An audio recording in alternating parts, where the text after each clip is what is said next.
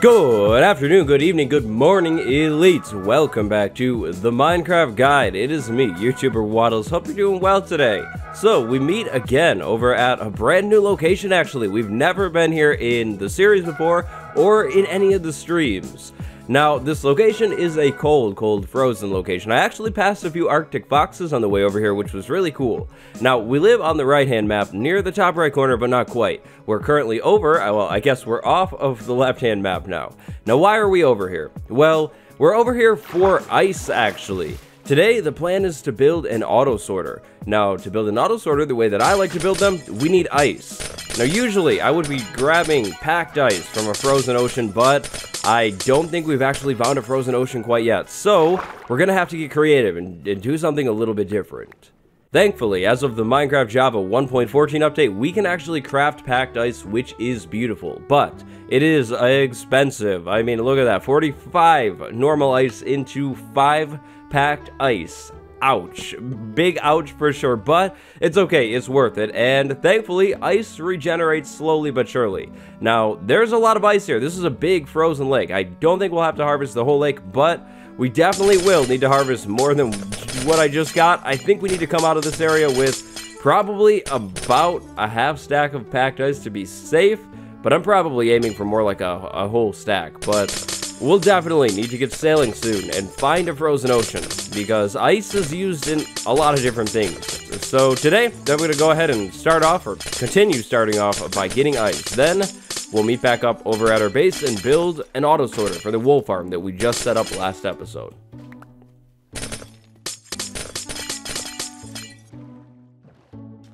Well, well, well, it looks like your boy lied to you because we're not back over at our base. Would you take a look at this? This is another brand new village here.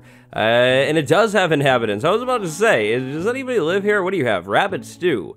I always forget about rabbit stew, but no trade today, sir. I will come back later. We're going to go ahead and mark this town and, and carry on. We have lots to do today, so we'll come back for the bell. We'll come back to check out the village, the villagers. Um, and I gotta say, I like the these uh, savannah structures. I think they look really good. Ah, yes, this creepy place. I also found this place when I was heading over to that snowy biome. Mm-hmm. Very, very spooky. Scary. Uh, seriously, the vibe of these towns is creepy. I'll take that bucket. Thank you very much. Ah, and so here we are, home sweet home again over at the wool market. So, this is the thing that we built in the last episode. It was really fun, and I think it looks really good. Today, we're going to hook a collection system up to this thing, and actually an auto sorter as well. Now, to prepare for this project, I actually started smelting up a lot of iron. We have stacks and stacks of iron waiting for us inside of here to be used, because today, we're going to need to make a lot of hoppers. We're going to need to make a lot of rails, probably. I, I think we're out. Uh, yep, lots of rails, just lots of, lots of, lots of stuff. So I'm going to go ahead and start by actually creating a lot of that lot of stuff, like the rails and the other ingredients that I need to build. And then we're going to go ahead and start getting this thing in. This is going to be the biggest redstone project that I have done in, honestly, in probably years. Well, maybe not years, but it's been a long time since I've done such an involved project. Now, the first step to this project is collecting the wool. We of course need to pick the wool up from the sheep market and move it over to somewhere if we want to actually sort it and store it. Now, collecting the wool from here is actually going to be pretty straightforward. It'll just be tedious. To pick up the wool from this sheep market, I think we can run a simple hopper minecart line underneath all of these stalls. Now, we do have uh, a lot of colors here. We have 16 different colors. A hopper minecart has 5 different slots. That doesn't really add up. I mean, look at this. We have two colors right here, then we have two right over here, and then it sounds like we're going to have, uh, what, one more right there? No, two more right there. So, one single hopper minecart wouldn't be able to handle this whole area. I feel like things would probably end up getting backed up, which isn't a good thing. So, I think we can actually split this into two different zones. We'll have this zone over there from the brown and purple all the way over to whatever's on the front, the light blue, and then this side will be lime green all the way to red orange. So two separate lines.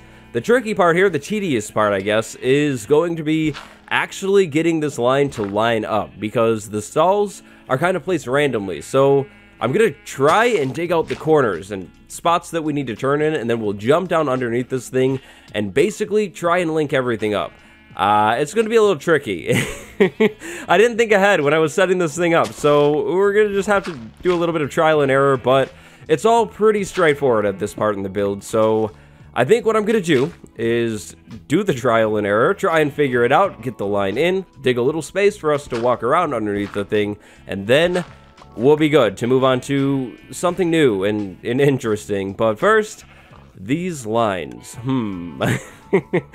uh, maybe, you know what, I should probably just start at the back of this thing and go for it like that. Uh, we'll start right here.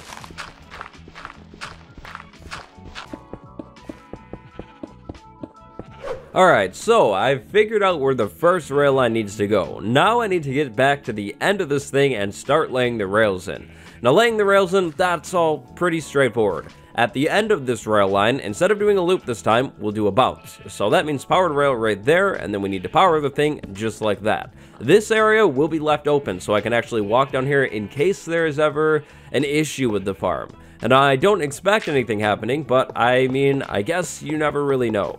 So now, yep, basically have to lay the rails and then I'm going to go ahead and get the other one in. Now currently, as it stands, the rails uh, just sort of end, but I have a plan for that that we'll get to in a minute. Okay, so the rail lines, boom, they are in. They go all the way under each and every single sheep stall to the back of the thing and right back over to the front. The minecart should ride through this whole thing, bounce off of the back wall, and then be sent right over to basically the collection area. But if there's a problem, well, it's not a big deal. We'll add more powered rails. Now we need to talk about moving the items from the farm over to the storage unit. Now, again, our storage unit is going to be right over here. Now, when it comes to moving our items, we really have three different choices. Choice one, well, we could move the minecarts all the way over to the storage area, but I don't really like that option. I like the idea of leaving our minecarts underneath the market area so they can continue to pick up wool. If we have our minecarts go from here all the way over to there, well, then they're kind of wasting time, right? They won't be picking up anything in here, and again, I just don't really like that idea. I'd like to have as little wool sitting on the ground as possible. So that one, that's ruled out. The next option is a bunch of hoppers. We could run a line of hoppers from right here all the way over to here, but let's be honest, your guy here doesn't have an iron farm, and I'm not willing to waste that much uh, iron on, on a line of hoppers, so that one is ruled out as well. That brings us to our final option. The final option is to turn the wool back into item form and move it like that. That's the one that I like, so meet the dropper. This thing is something that we haven't talked about at all quite yet. Droppers are just like dispensers, but they're happy. I mean, eh, look at the face on the thing. You see the eyes and the mouth? Mm -hmm. Now you can't unsee that. You're welcome. Anyways, droppers are pretty similar to dispensers, except they don't dispense things. They only drop. So if we had a water bucket inside of this dropper, well, it would drop the water bucket instead of dispensing water. If we had shears inside of this dropper, it would drop the shears instead of shearing a sheep if there were a sheep in front of it. So, that's the dropper. We need a dropper for the circuit. Now we will also need a hopper for the circuit as well. Now instead of having the minecart basically bounce off of this wall, drop an item off, and then go back, I'd like to stop the minecart this time, have it unload everything that it's holding, and then let it continue on its journey. So to do that, we need a simple circuit. Now this circuit is pretty compact. We'll start with a hopper and a powered rail on top of it. Now coming out of that hopper, we'll need to place a comparator, uh, right, right there, just like that. Now this comparator should go over into a block that has a redstone torch on it, like that. Above that torch, we'll need another block so we can send the signal or the power from this redstone torch upwards into this block. Then we'll take a repeater and pull the signal right out of that block. Then we'll take a signal from this repeater and send it over into a block right there to power the rail. So if we dig all the way around this thing, our rail is now powered and that is beautiful. That is good. That's exactly what we wanted. Now we need to get a, well, I guess what we could do is, we might as well do a demonstration. Let's go ahead and uh, you sleep and then we'll demonstrate. Alright, so this is as much as a demonstration as it is a test run as well. You, buddy, go. Okay, so it's gonna go and start picking up a bunch of wool. I'm sure it will have a bunch right off the bat. But uh, after it comes back, it should stop on this block right here and unload everything into the hopper, and then things should be moved over into the dropper. Now, we don't have a circuit on this dropper quite yet, so it's not going to drop anything. It's just going to hold items. Uh, yes, and that is exactly what it's doing. Look at that. Wow, that's a lot of blue wool. Not going to complain. So we're going to need to build another circuit attached to this dropper next. But first, we need to finish unloading, and also, we we might space this out. We might put another hopper right there, but the minecart then continues on its journey. That's perfect. That behaves exactly as intended. So, now let's go ahead and copy this circuit right over here. So, dropper that faces forwards, just like that. Hopper, powered rail. Comparator on a block, redstone torch on a block, another block, repeater, and another block. But just to give things a little bit more room, like I mentioned, we're going to go ahead and move the droppers out just a little bit more so we have more room for the circuit and so I can actually box things in. If our droppers are dropping wool and the wool ends up landing on the comparator, well, big problem. That was a waste of time. But the circuits are now in. Now we need an automatic circuit for this dropper so it will actually drop everything that it has inside of it, which is, uh, right now, a lot of wool. So, hopper minecart number two, we're going to go ahead and grab this guy and put it on this thing right there and let it continue to collect wool as well. Our dispensers and the hoppers next to them will start to fill up with a lot of wool and probably end up getting backed up, but that's fine. Now we need to talk about actually moving the items that will eventually be shot from these droppers over to the storage area. This part is actually pretty straightforward. So, we will eventually put probably glass blocks there and there to hold items in and right on top of it as well. But for now, we're going to skip that. Basically, these droppers need to drop items into a water stream. This water stream will then move everything over to the storage area. Now, because of how this lines up, we have a small problem right here. This, um, if this continued forward right here, we would hit that, which is kind of bad. We can't hit that, so we're going to have to drop our water stream that will be moving items in all the way down to there so we can run it right under this redstone. We obviously could reconfigure things, but uh, it's fine. It doesn't matter that much. I'm fine with this circuit. We'll just drop things down a little bit more. So, I should probably be smart and box this in somehow, which means I think this. Uh, stone bricks, probably, I, I think. Um, yeah, we'll go with stone bricks right now.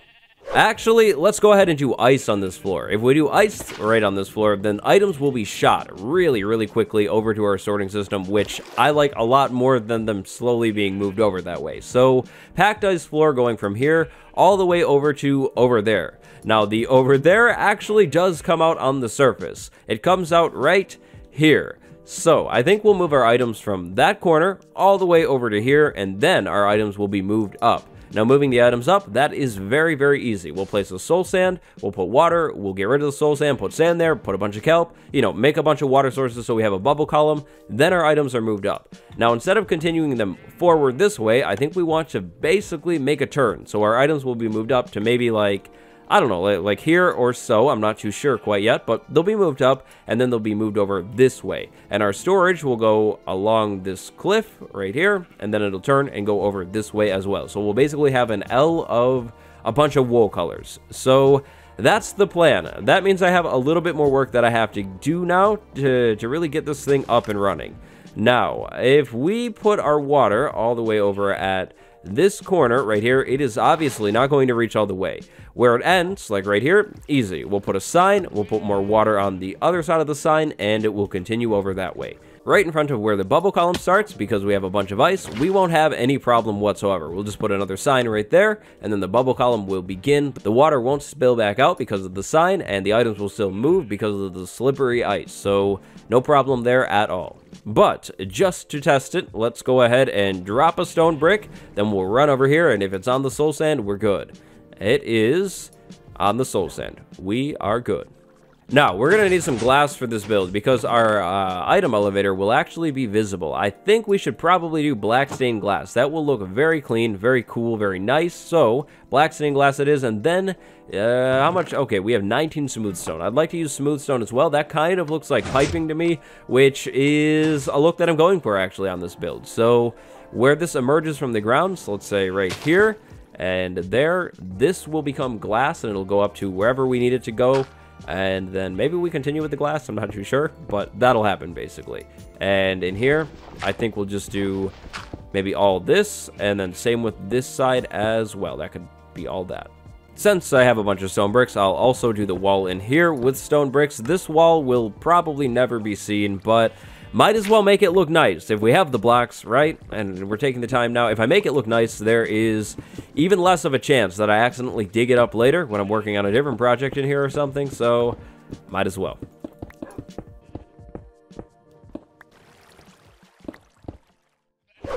Oh, right. So, our item elevator should be working. Let's go ahead and test it, though. We'll throw a stone brick right down there, and then it should be shot way up into the air.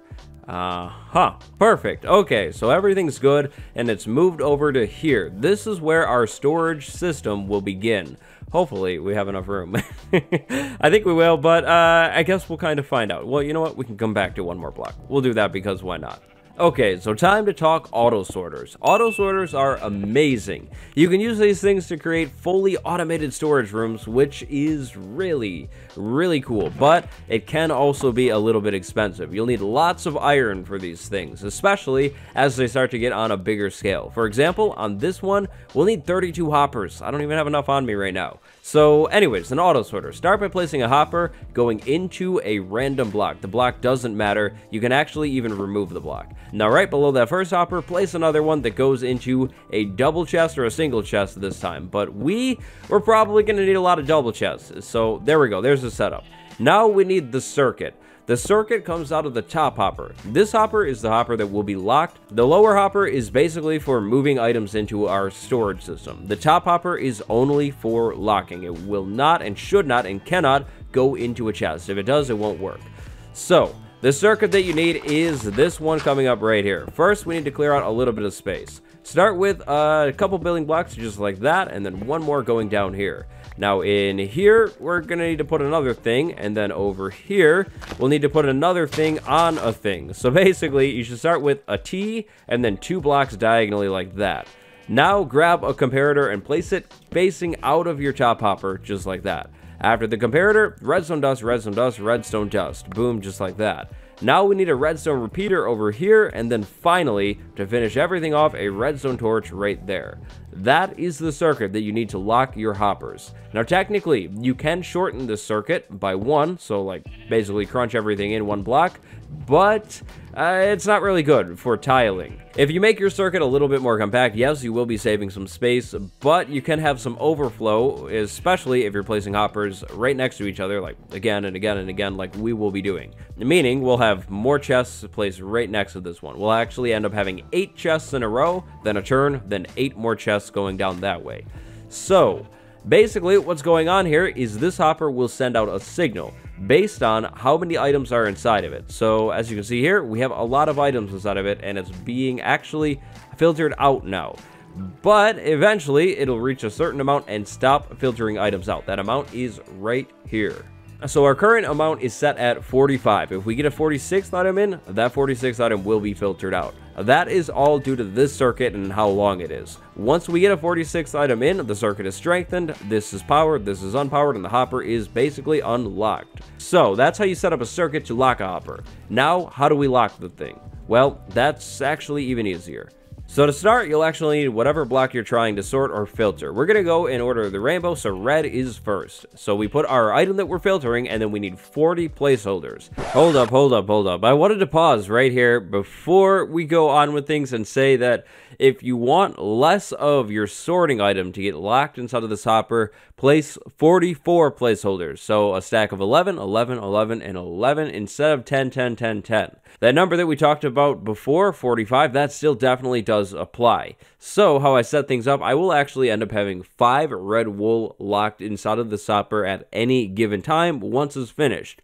If you're sorting something like diamonds, definitely use more placeholders. Definitely, absolutely. Again, since I'm sorting something like wool, I'm not really concerned about it, but I just wanted to cut back in here to say the amount needed total, 45, has not changed. I didn't mention that in the video. These placeholders can really be anything, but I always recommend using placeholders that will not get mixed into the system. If we had cobblestone slabs fall into here, they'll actually go over this hopper and then be filtered into here and mess everything up. We don't want that to happen at all. So get placeholder blocks that basically won't ever fall into your sorting system. Cobblestone slabs will never be in this system. Then the red wool right there. So now only red wool will be moved into this chest. If we put something else above it, like uh, redstone, it's not going to be picked up. After I get all of my hoppers and redstone in, we'll be putting water here. And if there were water here, this redstone would be continued to be moved down our storage system. So, that's good. That's how that works. Now I need to copy this over 15, no, not 16, 15 more times. So bunch of repeaters, bunch of comparators, lots of redstone dust, and of course, lots of torches. But first, uh, where is 8? So one, two, three, four, five, six, and then 7, 8 right there. So this is where we'll do our turn. Right after that, which is good. We definitely have enough room for that. Cool.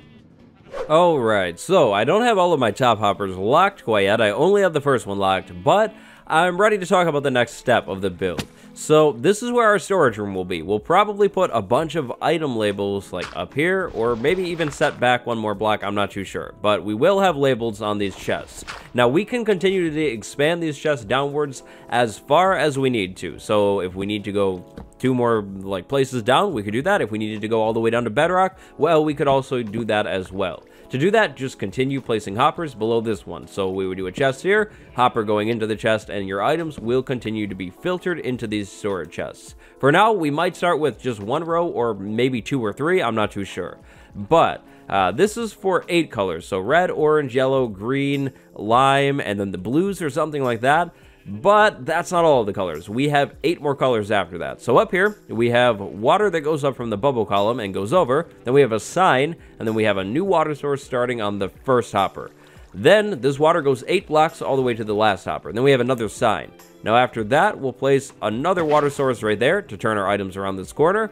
Then, uh, basically, this whole thing gets copied and goes down that way this time. That's the whole storage system. Our items should be moved across this thing. They should turn. Um, yeah, they seem to turn fine. So I, I think we're going to go with this design. And if it doesn't work, then we'll have to reconfigure a lot. Well, if it doesn't work, we'll have a big problem. But that is what I've got so far. That's what I'm thinking. So that means it's time for me to come in and start getting a lot of stuff in. I have a lot of work to do. I also need to make this thing look nice, and I like to match it to things in the area. So I'm thinking that maybe the front water source area, so this one right here, these blocks should maybe become sandstone, and then I should use some acacia log pillars in here to make things look really nice. So, I don't know. I'm going to try and mess with the design. I'm going to try and also get all of the hopper stuff in because there's a lot to this project. We actually still will have one more circuit that we need to do as well today, so, uh, yeah, I got a lot of work to do, so wish me luck. I will be back soon. It's all pretty straightforward, just copying everything that I've done uh, already over again, but it's gonna take some time. Shouldn't be too hard, though. Hmm, hmm, hmm. What do we think about this design right here? Hmm. Hmm, and then item frames up there, this pillar continues upwards. Ooh, I think we're onto something. That should be a pretty clean design. Maybe I've already come up with our setup. And then this could actually go right across the top. Ooh, ooh, ooh, ooh. I think I know exactly what I'm doing here. Oh, man. Now I just have to get it in. The building has gone insanely well, in my opinion. Here is what we have now. This will eventually be the entire, or at least the main part of the wool storage building question mark. I say building question mark because i'm not sure if it'll be a building or if i'll decide to kind of leave it open air but i i have a few ideas. So everything in here is good to go. I have all of the hoppers locked and i actually went ahead and brought some of the wool that we already had into the storage chests. Now obviously this area is empty down here. Eventually I do plan on expanding this thing downwards. I'm sure these uh, these first chests will end up filling up and we'll need more storage, but for now, really just to save time when it comes to farming wood, because, I mean, look at this axe. That's kind of a problem. We'll have to deal with that very soon, but, uh, yeah, for now, I put a shelf in there. Now, back here, some of the redstone is still exposed. Over here, I buried it underneath ground. Pretty good. It's kind of a bummer. There's no easy way to access it, but I think it'll be fine. Over here, I'm planning on doing the exact same thing. The ground will basically just be filled in in here, and then eventually I'll come over this thing and put a top on it. Now, I think the top of this area should probably be done with spruce trap doors or even just solid smooth stone blocks. I'm not too sure quite yet. All that I know is that there's not a top on it right now, and uh, that's not how it's always going to stay. Now, we have one more circuit to talk about, one more thing that we need to build. Now, thankfully, this circuit is very, very easy to do. So, uh, these droppers are full again, and they also need to they, they need to be wired up. They don't do anything as it stands. Basically, we need to make our droppers actually drop things. Otherwise, this whole thing that we built would be entirely pointless. So this is actually really easy to achieve. Start by placing a sticky piston down one block, one block back from our dropper. Then on top of that sticky piston, we'll need to place an observer that looks towards the dropper. Now, temporary block right there, and then another observer. Nope, wrong way. temporary block right there. Observer. Nope, right there. Observer looking towards this one. Then finally, comparator right there. Now, this is going to throw blocks everywhere because we don't have the correct walling in here, but if we had the walls right there, and then we had another block right there, this dropper should spit everything out and then it'll drop right there and then fall into our sorting system. That is a beautiful, beautiful sight. Uh-huh. I love the look of that. So, we need to go ahead and actually copy this circuit again right over here. We're going to go ahead and actually just open this area up a little bit. And I might even add a trap door to get into this area from the sheep farm area. So, what if we leave that open and we'll do a trapdoor there? I think I can make the trapdoor blend in with uh, like a spruce trapdoor. I think it'll look pretty good. Maybe, just maybe, we do ladder, ladder, then we go and get a trapdoor right on top of that. Yep, that blends in pretty uh, okay. Well, we should probably change these to like coarse dirt, but anyways, ladders to go down into here, and now I need my second circuit. But first, I'm going to pull all this stuff out. I don't want to overload this thing right off the bat. So, observer looking at that thing, then another observer looking at that spot, and then finally a comparator in here right there like that. And then blocks. Uh, you need to shoot stuff into the water, actually. Thank you very much. So, if we place some building blocks like that, that should actually be good. And then same with over here. That's good. That's good. And then maybe just to be safe, we do that as well. Now, we should have zero problems whatsoever. We'll just fill everything in like that. That's where our items will be thrown and into the storage system. So now we just need to go back over to the storage system and check the thing and make sure it's actually working. Because if it's not working, or we're going to have to make some changes, but I'm sure it's working perfectly. Yeah, that is so much better. You can almost not notice the thing. But the storage. How are we doing over here? I saw the items fall up there. That's awesome. I'm definitely going to leave this exposed, by the way. So, moment of truth. What do we have? Red. Okay, I like it. Orange. Yellow. Lime. Green. Uh-huh. Uh-huh. Uh-huh. That looks beautiful to me. It looks like everything is working wonderfully. Now, this brown wool, I want to mention this. We still don't have our brown sheep over there, but I actually had two brown wool inside of the storage building, which was pretty crazy. That was the exact amount that I needed to lock the hopper and put one in the item frame. For now, this thing will be empty until we can actually find a jungle, but it looks like our wool storage sorting system is finally complete. This whole area is now a really, really, or it should be a really efficient and effective farm and I'm sure in a few episodes time, we'll have more wool than we would ever actually really need. Now the downside here is the minecart sounds, but let's be honest, uh, that's a small downside compared to the upside of having all of this in here. Like this is amazing. So now I just need to actually finish covering everything back up properly fill uh, the spaces in so we don't get spawns down here. And we have a fully functional wool farm. This is the best wool farm I've ever built. I'm like really, really excited about this actually. I am I'm pretty happy. It was a good day. And so, that is going to just about do it for this episode of the Minecraft Guide. Now, as you guys can notice, this area doesn't really look finished, and that is definitely the case. We will absolutely have to come back in here soon and finish this whole area up because it just looks unfinished. It looks nice, but not finished. That might be a stream project, but I'm not sure. We'll see. As always, I stream on twitch.tv slash wattles. There's a link in the description. You should definitely check it out for yourself.